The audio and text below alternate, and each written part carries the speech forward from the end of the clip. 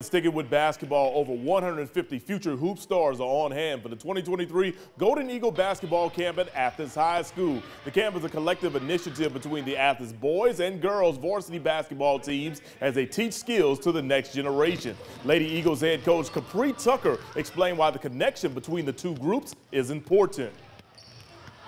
Oh, they don't want to come see the old people. They want to come see their favorite players that wear the jerseys on Tuesday nights, Friday nights. They make those connections. And I think it's so important for our young people, too. So they're giving back, so they feel connected as well. Because they're going to be gone soon enough, but we want the next group to want to be where they are eventually. All right, campers also receiving skills and life lessons from Richard Hendrix, a hoop star who many consider to be the greatest player ever to wear the black and gold. The former Alabama Mr. Basketball Award winner and professional basketball player remembers what it's like to be in these campers' shoes.